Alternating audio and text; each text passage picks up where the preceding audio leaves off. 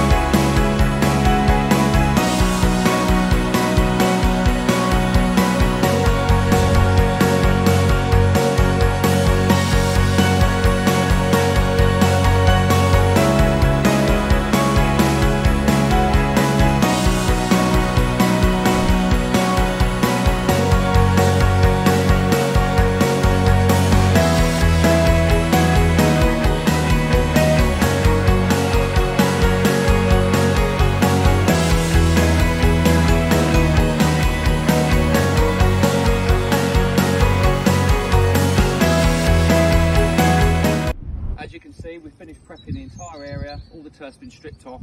It's all been rotavated. We dug out certain areas and put it through the screener. Uh, take, we took some stone out. There was a huge amount of it, but it's been taken away. It's now all been rolled.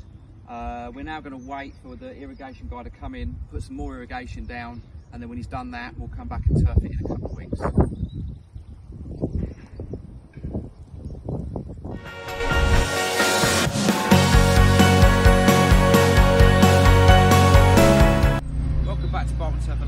Landscapes. We've had to come back in May, wait for the ground to dry out.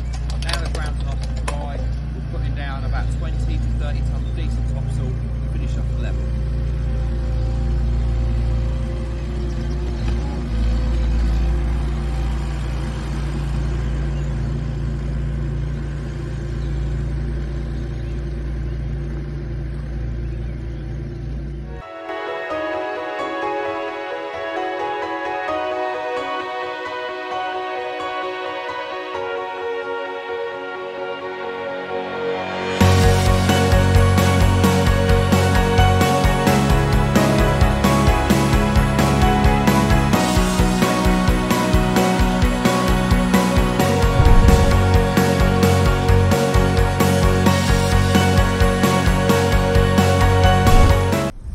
so back to Bolton Turf and Landscapes. We've now finished, all the turf has now gone in.